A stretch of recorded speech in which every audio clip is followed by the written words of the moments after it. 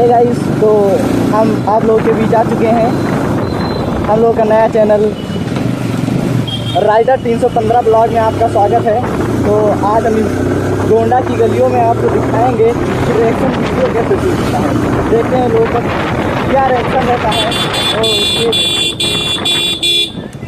ये देखो, ये कट, देखो, कट, ये देखो, यार। हॉस्पिटल देखते हैं कि लोग का फ़ोन हेलमेट में फ़ोन देख के लोग का क्या रिएक्शन रहता है? जिससे आप लोगों का हम गलियों गलियों में ये प्रेम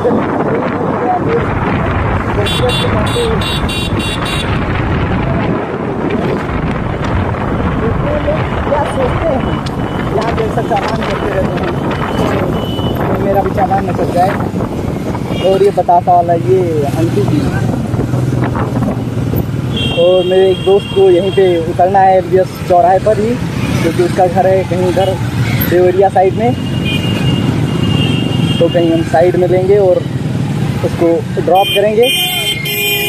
तो मैंने फाइनली उनको ड्रॉप कर दिया है दोनों लोगों को। अब मैं चलूँगा अपने साथ और देखते हैं कैसा रहता है सफ़र घर तक मेरा। ठीक है ब्रदर बेस्ट ऑफ़ लक तो चलते हैं, देखते हैं कैसा रहता है लोगों का। और ये भाव देखे हमें ऐसे ऐसे देख रहे हैं जैसे कभी देखा नहीं। तो अब पहला जो ब्लॉग है, आप लोग के बीच हम लेके आए हैं।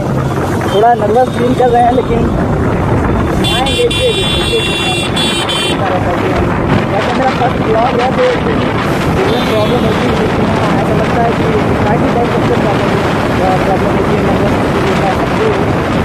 और जो भी हो रहा है लेकिन आप लोग का प्यार सपोर्ट ऐसा बना रहा तो लेटा देते हैं। क्या पूछना है? अंकल जी का चश्मा, स्कूटी है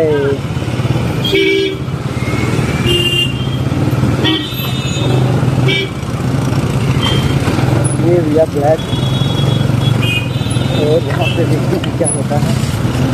अंकल जी तो भाई बिल्कुल लेटा लेटा घूम रहे हैं। क्या पूछना है?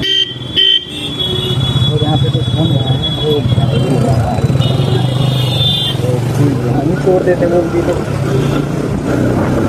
अंकल जी का क्या कहना है? यार पीछे पीछे गोडा की गलियों में इनका क्या? तो आपको गोडा की गलियों में घूम के कैसा लग रहा है? गोंडा की गलियों में घूम के आपको कैसा लग रहा है? सही लग रहा है? ठीक है। तो ऐसा है कि यहाँ पे लोग जो है